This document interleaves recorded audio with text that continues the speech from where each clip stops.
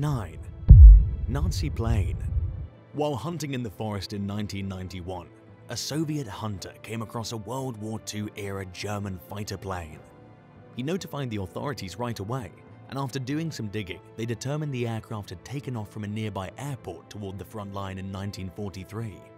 The destination wasn't far, only about 15 minutes away, when Soviet anti-aircraft artillery attacked it and destroyed its fuel supply system. The pilot, Major Paul Rattle, tried to fly back to the airport, but he didn't make it and he crash landed in the woods. The Soviet army captured Rattle, and he remained a prisoner for a few years after the war ended. German engineers designed the plane known as Focke-Wulf FW-190, the single-engine single-seat plane in the late 1930s. By the time the Russian Hunter found the downed aircraft in 1991, someone had removed its machine gun. The German military may have done this as part of a failed effort to recover the plane. Finally, not long after its rediscovery, the Soviets removed the fighter plane from the forest and took it to a nearby Soviet base. The USSR was under immense economic strain and just months away from collapsing. Lacking the resources to do anything with the plane, the government sold it to the British Aviation Collection. They restored it over the next few decades, and in 2010, the aircraft finally flew again for the first time in 67 years. 8. Hidden Frescoes Several years ago, Tufts University professor Christina Maranci discovered hidden centuries-old artwork at the Mren Cathedral, a historic church in western Armenia. She was hiding from local police inside the church during her investigation of off-limits archaeological sites when she suspected that there was something beneath the plaster on the walls. Maranci snapped photos with her high-end camera and used Photoshop to enhance the obscured features, visually restoring parts of the hidden frescoes and inscriptions that are invisible to the naked eye, including an ox in the church's apse. She believes the image is an early 11th century depiction of the biblical figure Ezekiel, with an ox, lion, man, and an angel, the symbols of the four evangelists Matthew, Mark, Luke, and John. But Maranci also admitted that her speculation is inconclusive for now, and that more investigation needs to be done to confirm the fresco's age and meaning. The keen-eyed researcher said she wasn't interested in frescoes when she made the discovery, but that the finding prompted her to investigate other old churches for similar historical features. And while she credits imaging software that anyone could use for drawing out the concealed artwork, Maranci noted the importance of someone knowing what they're looking for. She continues to investigate her findings and hopes to overcome several obstacles surrounding the discovery, including a lack of experts and governmental red tape that prevents researchers from legally exploring valuable historical sites in the region. 7. Medieval Tunnel Electrical workers in Monmouthshire, Wales were digging a hole for a new power line in a customer's backyard last year and they discovered a mysterious network of medieval tunnels beneath a 12th century abbey. A brook, the tunnel system's just 4 feet tall and there's no official record of it being built. Archaeologists who investigated the site don't know what people use the tunnels for or how extensive the system is. It doesn't appear on any maps created by the UK's mapping agency, which dates back to the 18th century. If anyone had known about the site, the power company wouldn't have had permission to dig as they did. The tunnels may be connected to nearby Tintern Abbey, a national icon of Wales that was built in 1131.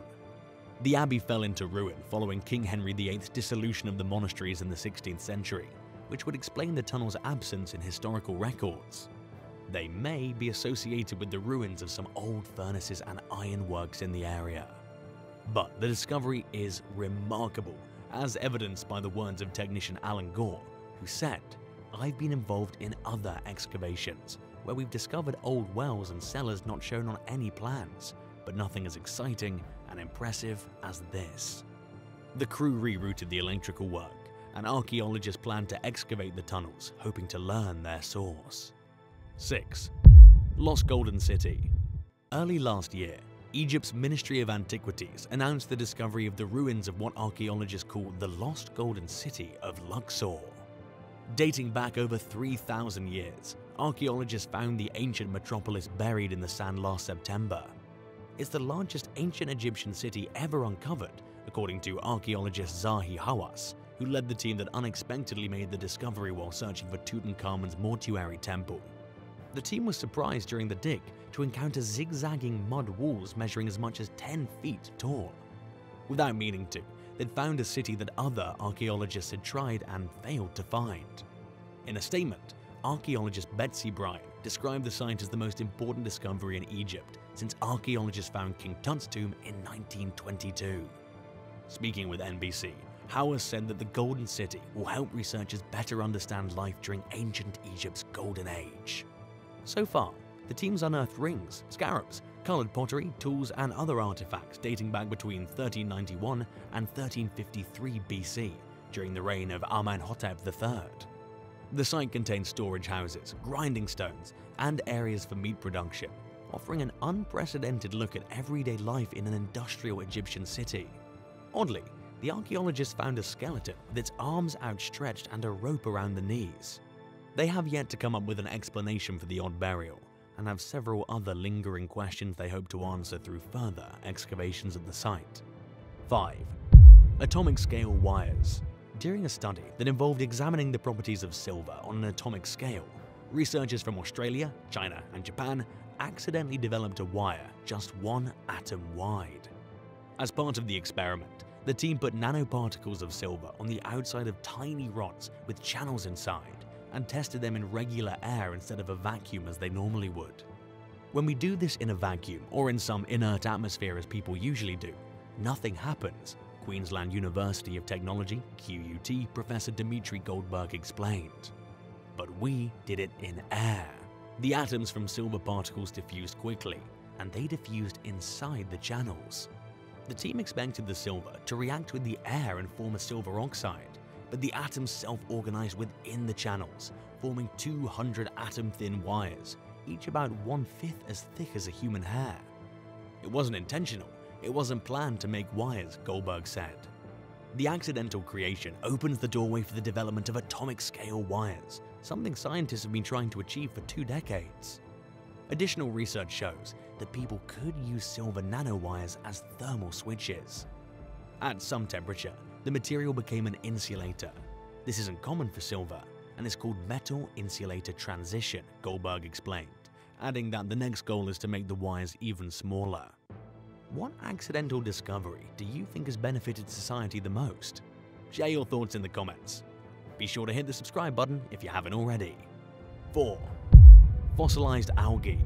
Geobiology graduate student Katie Maloney knew the odds were against her when she went on a mission to find microscopic fossils of early life in the remote mountains of Canada's Yukon Territory. Despite her slim chances of finding anything, Maloney discovered rare fossils of several newly discovered ancient algae species. They lived on the seafloor 950 million years ago, a conspicuously sparse time on the fossil record. The fossils are helping to fill in what scientists call an evolutionary gap between algae, one of the first eukaryotic life forms, organisms with cells that have a DNA containing nucleus, and more complex life. While Maloney considers her discovery an unexpected stroke of luck, her keen eye played a crucial role in identifying the fossils. When she noticed hundreds of curvy, intertwined traces containing visible structures within them, she had a pretty good idea that she'd found a fossil of a living organism. Using microscopy and geochemical techniques, Maloney and her team confirmed the fossils were early eukaryotes and identified several species. These findings make up the first fossilized microscopic specimens from the time ever found. Not long after, a team of scientists made a similar discovery, which may also help piece together the eukaryotic evolutionary timeline. 3.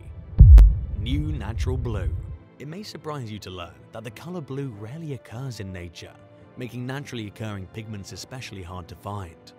Many blue hues are combinations of reds and purples rather than true blue. But a recently discovered variation of cyan blue might be used as an alternative to synthetic brilliant blue dye. Detected by chemists as part of a collaborative project between the University of California, Davis and Mars Wrigley, they sourced the color from red cabbage, which contains water-soluble pigments called anthocyanins. Only a small amount of the vegetable's anthocyanins are blue, prompting the researchers to use specially designed enzymes to turn some of the other anthocyanins in the desired shade.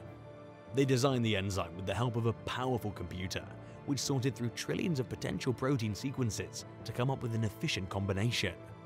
The resulting cyan blue pigment is reportedly nearly identical to the industry's go-to synthetic dye, known as Brilliant Blue FCF or E133. Artificial blues have proven problematic, often posing environmental or durability issues. Some, like cobalt blue, even turned out to be toxic, and Prussian blue released cyanide. The new pigment comes not long after scientists at Oregon University accidentally discovered YInMn blue, a so-called near-perfect blue pigment in 2009. It was the first such discovery in 200 years, and came while the researchers were observing the electrical properties of heated manganese oxide, a project that had nothing to do with looking for a pigment. 2. Ancient fish. While studying sediment cores collected from Norwegian coastal lakes, a group of geologists found the remarkably well-preserved bones of an ancient three-spined stickleback fish. After the ice sheets melted at the end of the last ice age, coastlines throughout the northern hemisphere experienced an uplift, creating inland lakes that effectively cut the species off from the ocean. The recently discovered fish lived in brackish waters around 12,000 years ago, a time when the lake the researchers founded in was nearly but not completely disconnected from the sea. A new study reveals that stickleback populations in separate places evolved to survive in their new freshwater environments, experiencing similar changes in their behavior, function, and appearance, a phenomenon known as parallel evolution. Scientists typically rely on modern-day freshwater and marine species as models for learning about parallel evolution. The rare opportunity to study these types of changes in ancient species eliminates some of the guesswork that comes with differentiating modern evolutionary traits from those experienced by ancestral populations. For the study, scientists extracted DNA from two prehistoric stickleback fish and compared the results against modern specimens. Although these bones belong to sticklebacks that died thousands of years ago, when most of Scandinavia was still covered by a giant ice sheet, they still contain fragments of DNA, researcher Dr. Andrew Foote explained. These genetic sequences provide us with a window into the deep past and to the early stages of freshwater adaptation. The researchers concluded that while newly arising genetic mutations are sometimes responsible for adaptation, the stickleback fish already contained genetic variants that made them adaptive to fresh water. But, as lead study author Melanie Kirch admitted, even when the colonizing ancestor carried genetic variants known to be adaptive in freshwater, these variants are not always present in the contemporary population. This tells us that even beneficial freshwater adaptive variants can be lost during the evolutionary process of adaptation, likely by random chance, a process known as genetic drift. These findings are helping experts to better learn the ways evolution occurs over thousands or even tens of thousands of years, hoping to fill in the gaps in evolutionary timelines. 1. Prehistoric Turtle while searching through the ruins of a church that was destroyed by an earthquake in Christchurch, New Zealand, sculptor Paul Deans happened upon a 35 million year old turtle fossil embedded in the core of a limestone pillar. Built between 1881 and 1882, the Oxford Terrace Baptist Church sustained extensive damage in the 2011 Canterbury earthquakes. When earthquakes demolished it in 2011, crews hollowed its pillars out for the construction of a new church that opened in 2017. Deans received several pieces of the pillar's cores last year to use in his work, leading him to the rather unexpected discovery. Dr. Paul Scofield, a senior curator of natural history at the Canterbury Museum, noticed that the unnamed ancient turtle species resembles another turtle fossil that a builder found while quarrying limestone in Oamaru in 1880. He concluded both fossils were likely extracted from the same quarry and may contain parts of the same animal. In an interview with Stuff, Scofield explained in his own words that turtle fossils are really rare in New Zealand. Nobody's ever found similar turtle fossils in Oamaru in over 150 years of quarrying there. He added, It's amazing that this new fossil was sitting inside a pillar for 130 years. It could have been lost forever. Scientists will study the newly discovered piece and will examine microfossils surrounding the turtle to determine if the two fossils are from the same animal as they suspect. Scofield speculates that the prehistoric species was a sea turtle, similar in size to the modern-day leatherback turtle, which grows up to 7.2 feet long. It lived during the Oligocene period, which lasted from 65.5 million to 23 million years ago when shallow seawater covered New Zealand. If you found a valuable artifact, would you give it to a museum or keep it for yourself? Let me know in the comments. Remember to subscribe to our channel and give us a like. Make sure you come back for more fabulous videos. See you soon.